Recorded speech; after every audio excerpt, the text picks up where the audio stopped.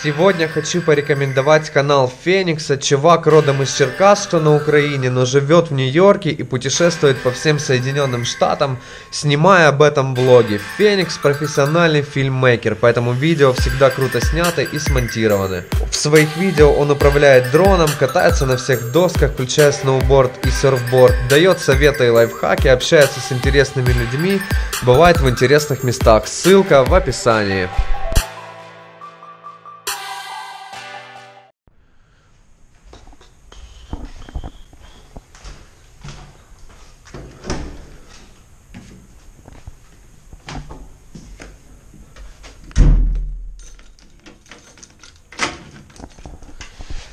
Всем приветик! Сегодня будет э, слегка нетипичное видео для моего канала, потому что те, кто следят за моим каналом, за моим творчеством, я думаю, вы заметили, что я люблю заморачиваться над монтажом, делать всякие фишечки, накладывать музыку прикольную, но сегодня я решил немножко отойти от этого от этой привычки своей и записать вам простенькое видео. Вот тур по квартире хочу вам сделать, потому что я наконец-то переехал. И я думаю, что сегодня наступило время наконец-то ответить на вопросы про Шапика, Мартыненко, Блокстарс и все, что вам интересно на этот счет. Сейчас примерно пол одиннадцатого где-то утра, я проснулся часа полтора назад.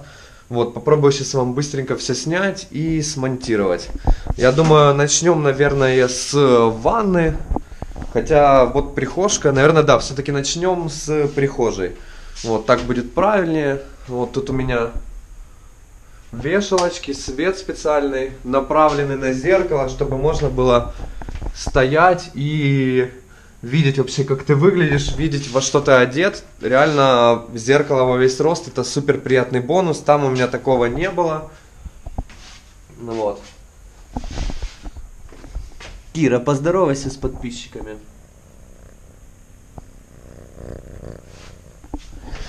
В общем, такая у меня прихожая. На полу ламинатик. Вот, так что с этим все в порядке. И я думаю, будем переходить в ванну. Вот, тут у меня плиточка. Душевая кабинка. Вот, сушилочка и колоночка. Вот, колоночка, потому что я, когда купаюсь, частенько люблю слушать музыку, но по приколу реально, стоишь в душе, слушаешь музыку, реально прикольная вещь, и я думаю, прямо сейчас, наверное, нужно сходить в душ, потому что на башке у меня какой-то бардак, вот, поэтому схожу сейчас в душ и продолжим смотреть мою новую хату.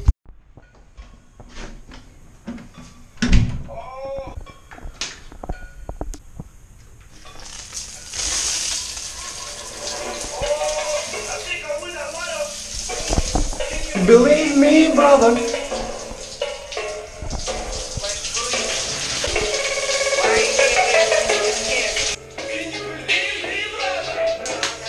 My brother.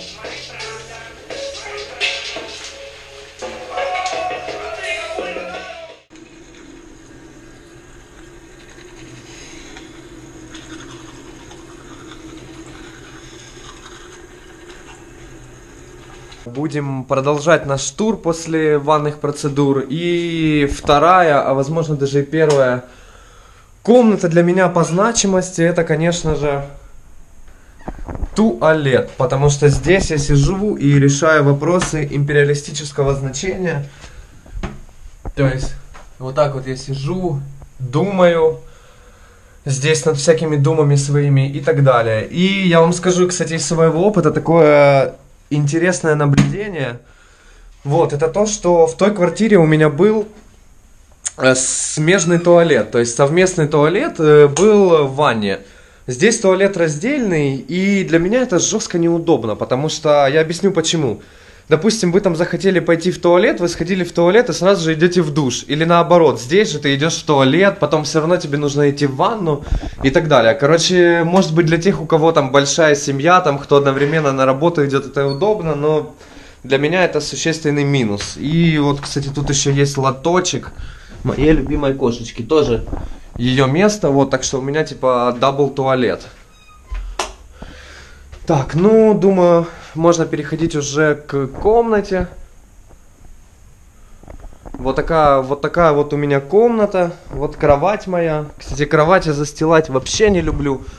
Потому что зачем застилать кровать с утра, если вечером все равно ты придешь на нее, упадешь, ляжешь, и все равно нужно ее расстилать. Короче, не знаю, не настолько я прям перфекционист и педант, что прям кровать застилать. Вот. Так, дальше у меня здесь есть вот такая вот лампа. Вот. Я большой фанат таких ламп. Вот, они мне нравятся гораздо больше, чем э, обычные лампы. Ну, как-то, не знаю, раздражают меня вот такие вот лампы. Вот. Не нравятся абсолютно они мне. Нравится такой холодный свет. И здесь, кстати, я подцепил вот еще одну лампу. И мне пришлось жестко заморочиться, чтобы это сделать, потому что вот эта херня, она бетонная, и самореза сюда реально там никак не вкрутишь. То есть, если вкрутишь, то это перфоратором надо долбить, но это никому не надо. И я просто взял крепление от своей GoPro, то есть две липучки было в комплекте, присобачил их и получилась у меня вот такая вот конструкция. Так что у меня две вот эти лампы. Вечером я, возможно, вам покажу. Может быть, нет. Наверное, буду монтировать. До вечера уже выложу, поэтому не покажу. Но свет реально вечером тут э, очень прикольный. Так, дальше что у меня? Шкаф. Ну, вот здесь всякие шмотки мои. Но там ничего интересного. Я думаю, шмот вас мало заинтересует.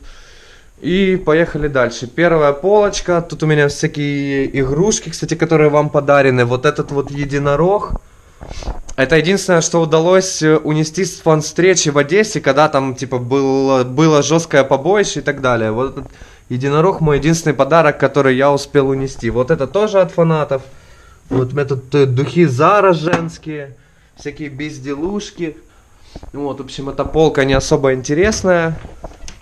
Вот, здесь у меня финансовые всякие штуки, документы.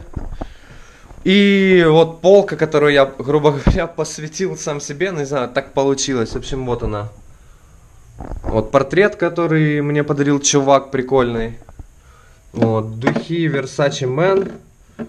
Кстати, мой любимый запах – Реально, я раньше особо духами не пользовался, но потом, когда понюхал вот эти, я понял, что реально идеальные духи. Вот, Versace Man, синенькие, если кто хочет, попробуйте. Я думаю, вы не разочаруетесь. Реально очень классный запах, но, по крайней мере, мне нравится. Так, цепочки мои серебряные. И здесь у меня на второй полке остатки, вот, всякие остатки с посылок, которые мне приходили с Китая. То есть тут у меня всякие очки, часы. Так, это мой ножик. Я с ним всегда хожу на пикник. Американский нож. Вот такой вот. У меня есть еще один такой, но он для кухонных целей. То есть я его использую на кухне, а этот такой в хорошем состоянии. Беру его на пикники. Все интересного есть. Нож бабочка у меня еще вот такой вот. Но он для таких хозбытных целей, потому что по законодательству с таким на улице ходить нельзя, поэтому я его использую как хозбыт, там что-то отрезать, такое тяжелое. Так, это чехол кожаный от моего ножа.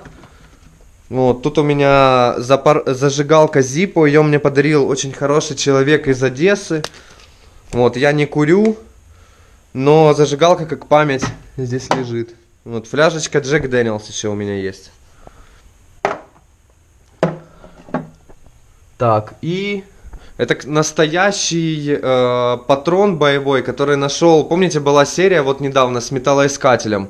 И чувак, который дал мне этот металлоискатель, вот он нашел, короче, этот патрон. То есть это реально штука боевая, там внутри порох, это со Второй мировой войны еще. Ну вот он у меня. Тут стоит. Здесь у меня ретро-открыточки не наши. Вот, если помните, у меня был тоже влог, в котором я распаковывал посылочку. Вот, и вот это вот открытки с этой посылки. Вот, это мои зубы. Вот. Слепки моих зубов. И здесь у меня всякие коробочки от айфона, от айпэда, от GoPro. Здесь у меня бабочки лежат. Короче, такое. Вот здесь у меня всякие бытовой хлам, машинка для бритья, точилка для ножа, отвертки, селфи-палка. Кстати, самое ненужное вообще, что у меня есть, это, как по мне, селфи-палка. реально самый ненужный девайс. Я не понимаю вообще, нахрена он нужен. Не люблю я селфи-палки, потому что вот это она вытягивается, потом конструкция это дрожит. Оно все очень не крепкое, очень непрочное. Короче, не люблю я. Мне больше... Вот, пожалуйста. Вот вам наглядный пример. Только сказал и отвалилось.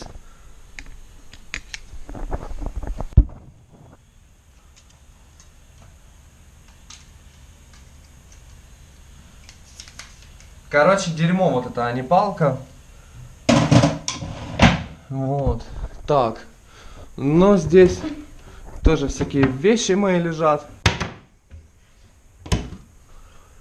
Ой, здесь тоже вещи.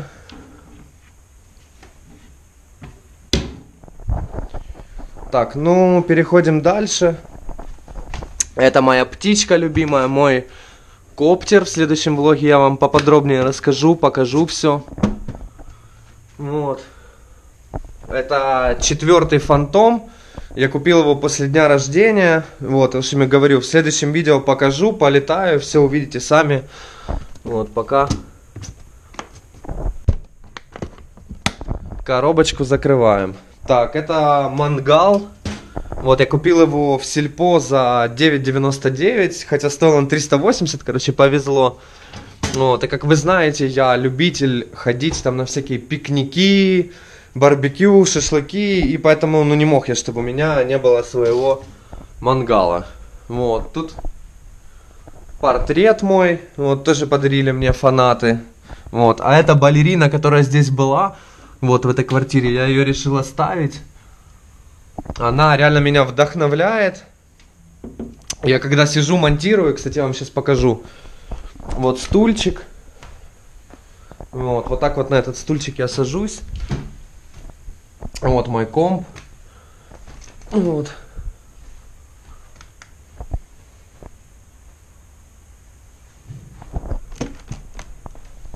Вот так вот это все выглядит.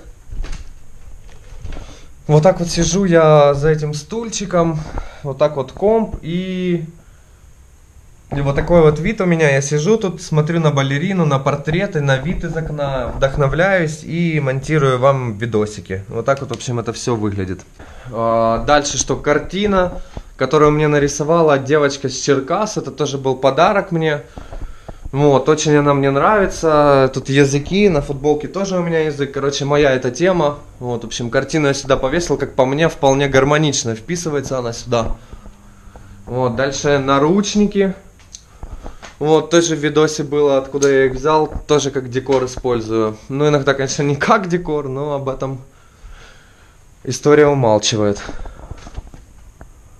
Ну, вот такой вот видок с окна у меня. Ну, я думаю, можно переходить к балкону. Вот. На балконе у меня тут есть каремат, мешок с картошкой. Вот, на зиму, чтобы было что есть. И гантельки мои. Вот. Это для тех, кто... То есть вообще Э, почему я решил вспомнить про гантели? То есть единственная тема, которая вас интересует, о которой вы пишете мне на Ютубе, ВКонтакте, то есть э, это то, что я жирный и где Шапик и Мартыненко. То есть все, такое ощущение, что как будто для вас больше не существует тем. Вот, поэтому я решил вам вот показать гантельки. Вот, я занимаюсь, в принципе, каждый день. Вот сейчас покажу вам, как это выглядит. В принципе, я делаю базовые упражнения там для рук. Вот, то есть на бицепс это вот такой вот вариант. Вот, главное следить за тем, чтобы локти прилегали к корпусу. Вот, на вдохе вы опускаете и на выдохе поднимаете. Каждая гантеля весит по 11 килограмм, то есть это нормальный вес. Вот, и вот таким вот макаром несколько подходов, насколько хватает сил, в основном я делаю 25-20 раз, подхода 3-4. Ну вот, на бицепс. Дальше на бицепс еще такое классное упражнение называется молот. То есть вот, вот такая вот вариация. Так же самое руки около корпуса. И на плечи. Плечи обязательно тоже нужно делать. То есть либо вот, вот такое вот упражнение. Вот, также ровненько, не спеша. И еще вот такое вот упражнение. Вот. Плавненько, аккуратненько качаются ваши плечи. Вот, то есть, в принципе, э, гантелями я качаю, то есть делаю базовые упражнения, то есть это руки, плечи, там пресс и так далее я не качаю, потому что был уже у меня опыт, когда я делал себе кубы пресса, кстати, фотка в инстаграме до сих пор сохранилась. Я вам скажу, неблагодарное это занятие, потому что, во-первых, нужно сидеть на жесткой диете, то есть реально кушать очень мало калорий, чтобы высушить подкожный жир, который, в принципе, есть у всех. А во-вторых, реально оно того не стоит, потому что пресс на самом деле очень быстро сходит, буквально 2-3 месяца у вас уже этих кубиков нету. Поэтому забил я на эту тему. Я думаю, с комнатой, с э, балконом все понятно. Переходим на кухню. Вот, кстати, тут у меня, как вы видите, вот такая вот штука, нет окна, и это на самом деле удобно, потому что это у меня как мини-барная стоечка. Вот мои колонки, тут я музыку слушаю. И, в общем, что у меня тут есть? Бутербродница, в ней получается офигенная шаурма и бутерброды. Вот тут у меня стратегические запасы хавки. Вот. На холодильнике куча хлама всякого. Вот вам сам холодильник.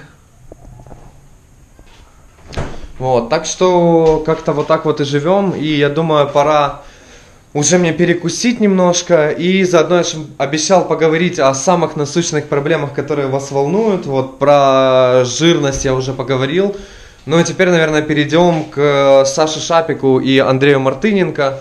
Вот, сейчас параллельно я буду готовить, кушать и немножко расскажу вам, что же все-таки случилось там. Я чувствую, вас сильно это очень интересует. Яйца, сыр, фасоль и кусочки жареной рыбы. Сейчас я сделаю яичницу с сыром, вот, и с фасолькой все это дело с рыбкой буду завтракать.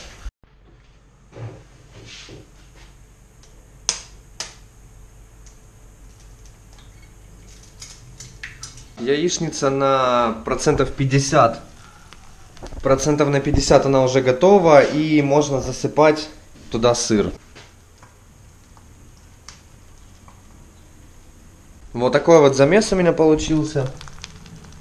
И накрываем его крышечкой, ждем пока сыр расплавится, яичница доготовится. Завтрак мой готов, и теперь переходим к самому интересному, то, что я говорил в начале видео. Поговорим на темы, на вопросы, которые вас очень сильно интересуют. Не знаю, правда, почему, но раз публика хочет, то я дам ответы на ваши вопросы. И в комментариях чаще всего пишут э, касательно того, до сих пор ли я нахожусь в Block Stars и про мои отношения с Сашей Шапиком и Андреем Мартыненко.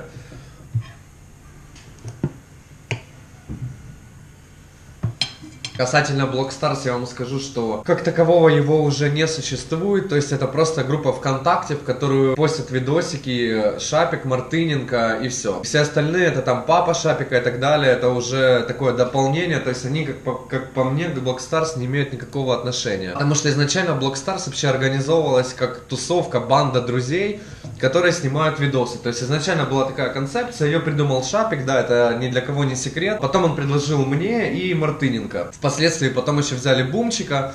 Но я же говорю, изначально сама идея Блокстара это была в том, что друзья тусуются вместе и снимают видос.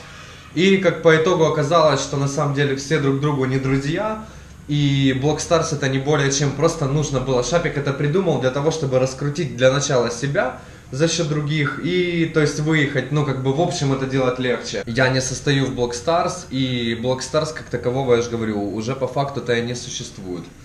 Ну и второй вопрос, то, что вас интересует максимально вообще э, яро и максимально ажиотаж, то, что у меня приключилось с Шапиком, типа, как так случилось, почему вы не общаетесь и так далее. Ну, во-первых, начну с того, что я с ним не ссорился. После некоторых его поступков перестало интересно с ним общаться, и он мне стал неприятен как человек. То есть я воспринимал его как своего друга, но по мере того, как э, развивалась его карьера блогерства, по мере того, как э, росли просмотры, как он зарабатывал деньги на этом, то есть это его очень сильно поменяло. И он, то есть, перешагнул там дружбу и так далее, но это, то есть, моя версия.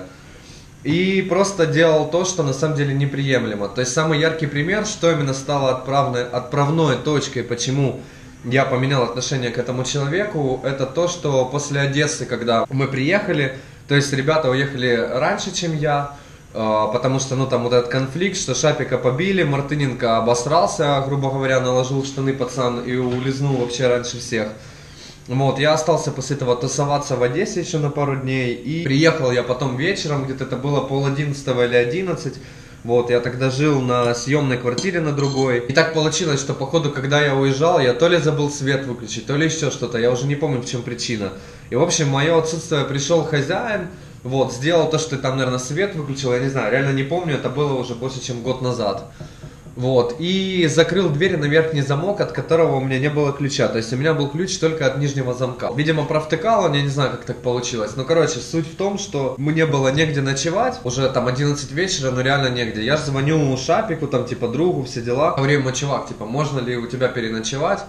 И так далее. Говорит, такая ситуация, там завтра с утра я уеду, там типа хозяин придет, откроет дверь, типа все нормально. А на то время к нему уже тогда это были Дорогожичи, переехал Мартыненко, вот, квартира у них была большая, двухкомнатная, в общем, он говорит, да, конечно, без проблем, приезжай, типа, окей, хорошо. Я приезжаю, и первое, что, ну, а я реально уставший, то есть я целый день ехал на машине на смарте из Одессы в Киев, этот запарос с квартирой, то есть я реально уставший, с кучей шмоток, немытый, грязный, вонючий. Прихожу к нему домой, и первое, что вижу, это то, что он мне сует камеру в лицо, и начинает, типа, провоцировать, выводить на эмоции. Но я же на это забиваю, думаю, ладно, типа, он начинает говорить, типа, чувак, давай набухаемся, типа, как обычно. А я объясняю, почему это происходит. Потому что Шапик на самом деле пьет очень мало. То есть он выпивает стаканчик маленький, там делает вид, что да, он бухает, и берет, включает камеру и снимает все то, что происходит с пьяными людьми. И таким образом он просто делает рейтинги на своем канале. Вот, я это все, понятное дело, выкупал уже и говорит, а не, чувак, типа, я хочу в душ, типа, отдохнуть, потому что устал, типа, пить не буду. Но они там что-то такие, о, типа, ладно, ну, типа, как хочешь. И уже время там, типа, я говорю, чувак, типа, пора ложиться спать, а у Мартыненко в комнате, получается, стоял диван. Мартыненко там платил какую-то минимальную сумму за то, что, типа, Шапик ему разрешал жить у него. И я же говорю, типа, Саша, где мне спать? Он говорит, у Мартыненко, мол, есть диван, типа, говорит, спи у него. Я говорю, ну, хорошо. Я же прихожу в комнату к Андрею, вот, и он начинает выебываться, опять-таки включает камеру, говорит там, типа, знаете, как Мартыненко может, там, типа, а шо, там, типа, чувак, говорит, это моя комната, типа, говорит, пиздуй спать на балкон. Я говорю, типа, чувак, ты что, типа, вообще ебанутый? Я говорю, почему я буду спать на балконе, если в хате куча места? Он говорит, бери диван, типа, иди на балкон, типа, разбирай диван. И, в общем, они начали, типа, прикалываться, реально снимать меня на камеру, там, типа, отправлять на балкон.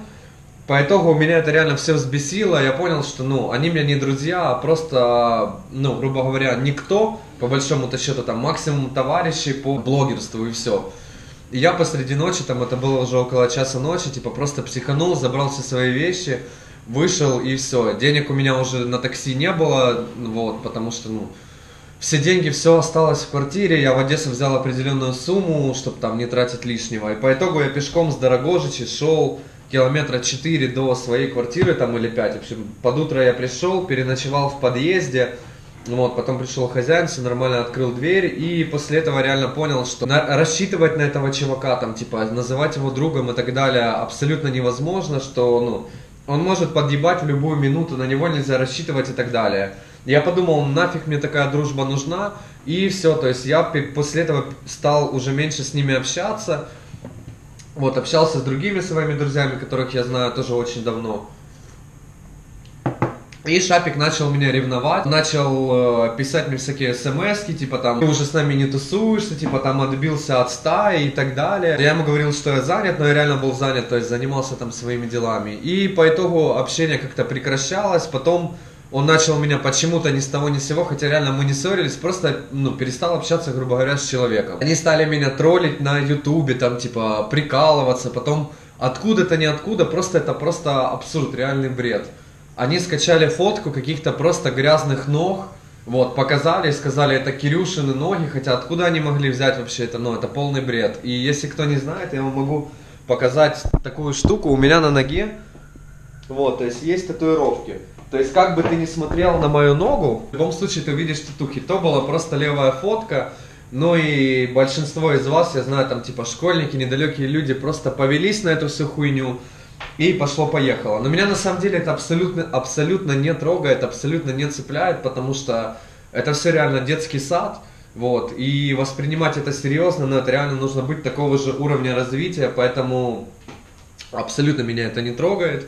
Вот, это было касательно Шапика. А Мартыненко я, в принципе, вообще не считаю за адекватного человека. То есть для меня он тупая малолетка, которая реально там живет приколами там лагеря 15-летними. Тут вообще нечего обсуждать, поэтому такая вот ситуация получилась.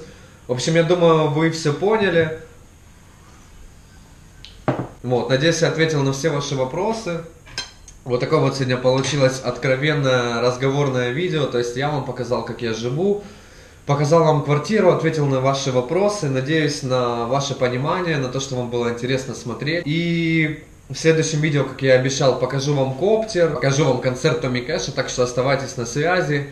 А я буду кушать и монтировать видос. Пока-пока.